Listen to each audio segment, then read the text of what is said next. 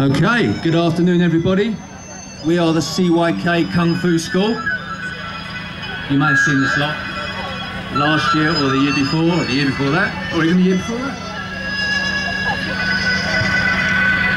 Okay, we're going to do the bow. Uh, instructors, if you can come up the front please.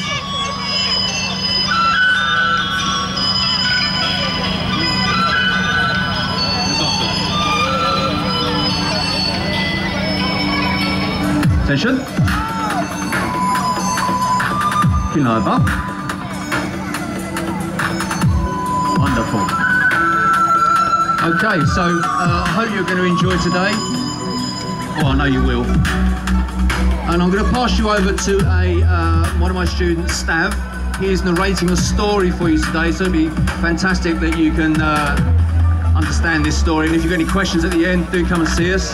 Uh, we're over over the far end, um, the Kung Fu uh, tent. So yes, I'll pass you over. Thank you very much.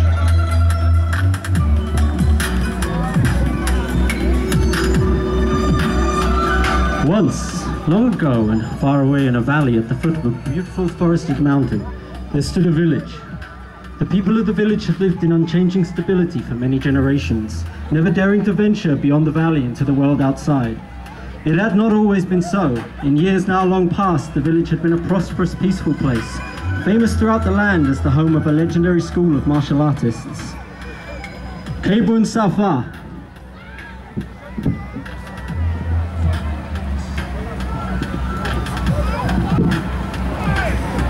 Marble.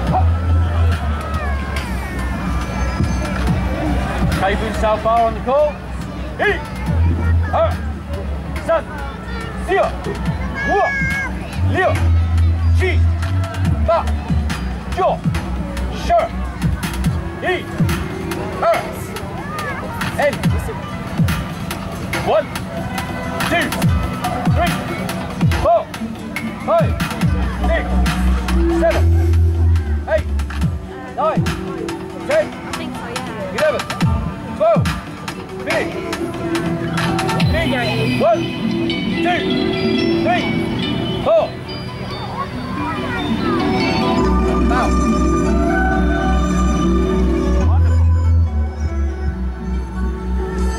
Yet sadly, those days were now long gone. The secret of Kung Fu had been lost long ago, and so the village had left lessened with every generation. Into this village a child was born. In time the child grew curious. The child listened to every story the elders had about the legendary martial artists. And deep in the child's heart, an ember of his chi blossomed into flame. One day the child announced that they would seek out the secret of Kung Fu and return it to the village. Many tried to discourage the child with fears of what the outside world might contain. They warned that failure was easy and success was hard, but nevertheless, the child decided to enter the wide world. Not a day had passed when the child came to a narrow pathway that wound through warm green woodland. Undaunted, the child pressed on, though the trees seemed to chatter and mock him as he walked. Soon the child realized that it was not the trees at all, but a gang of monkeys that had been following him. At a fork in the path, the monkeys descended from the trees. Adam, the monkey said,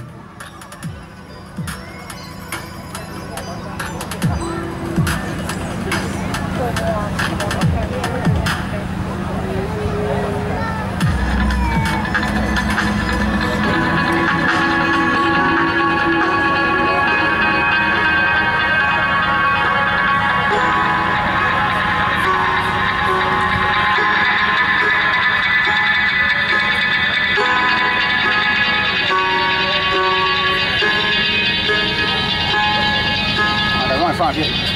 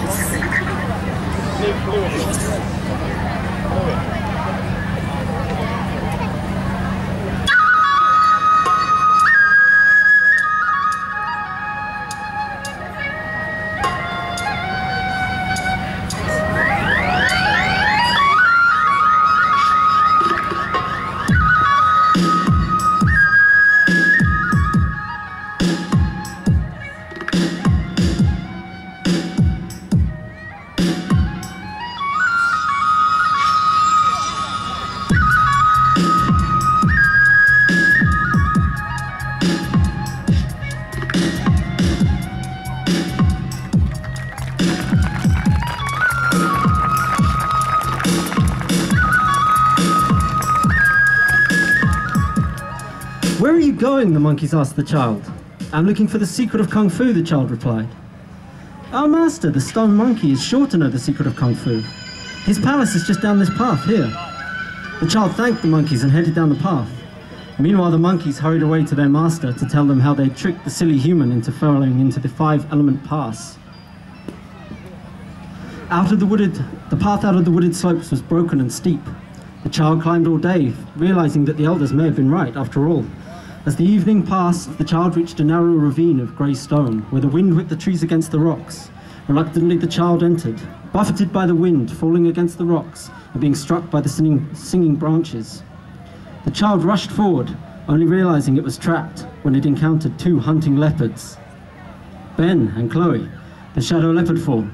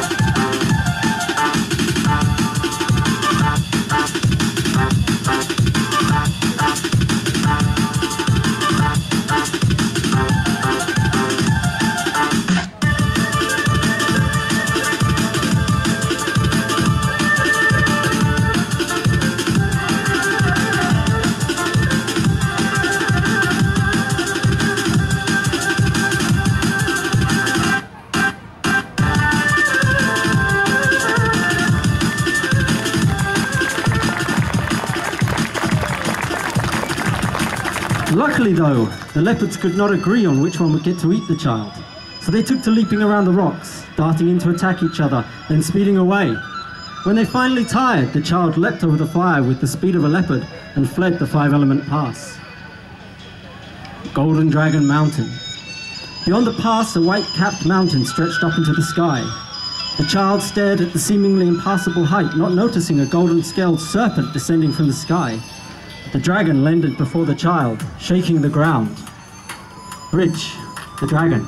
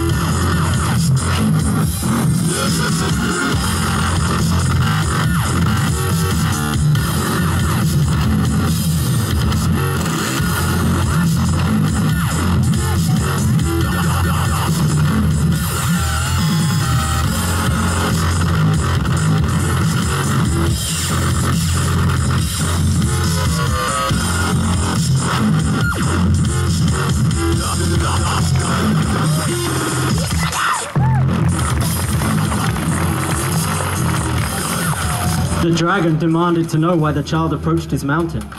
The child told the dragon that they were searching, searching for the secret of Kung Fu. In response, the dragon laughed a roaring shout that seemed to shake the mountain. Climb on my back, little warrior, the dragon said. And with that, the dragon flew the child over the mountain. In time, the child came to the edge of a wide, impassable lake which was racked by a terrible storm. The surface rolled with waves and rain pounded like a thousand drums upon the water. Far out in the center, the child saw the source of the storm, a raging lake spirit. Before the child had time to be amazed, a second spirit descended from the sky, settling the raging storm. Sifu and Aspen. Tai Chi. Yeah.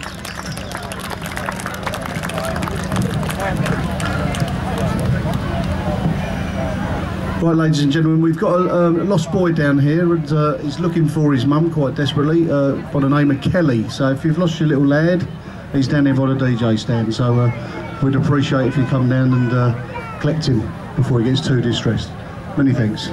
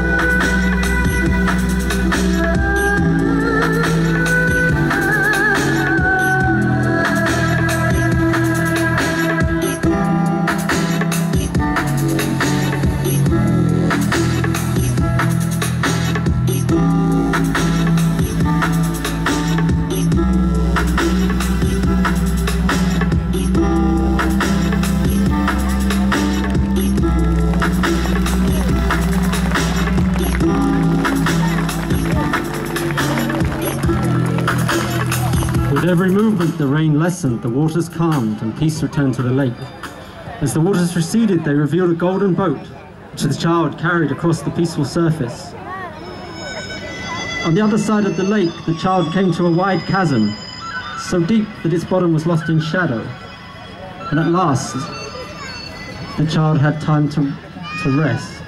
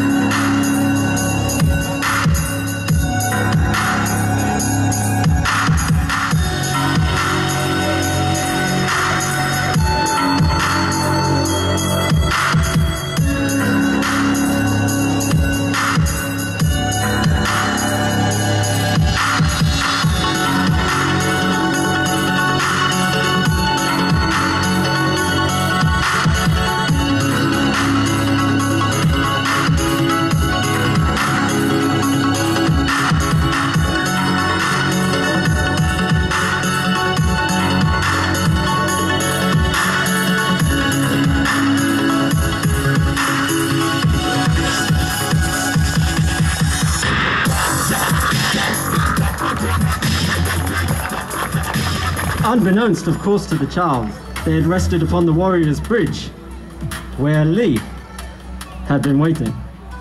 And though at first the venerable old man had seemed weak and reliant on his walking stick, he had in truth made it a part of his martial arts. The child saw how the old man had adapted and changed techniques to make them his own. After that, the child journeyed with the old man for many days, learning much with each step taken. When enough days had passed that the child could no longer remember the way home, a great gloomy forest appeared on the horizon. Eventually the child was completely lost in the trees, not even able to remember the way out. Worse still, the wind was whispering words that made the child's eyes feel tired and heavy. Yet there was another sound, the heavy swish and clang of metal, and through the trees came a swordsman swinging a saber, cutting the branches out of the way. George, the broadsword.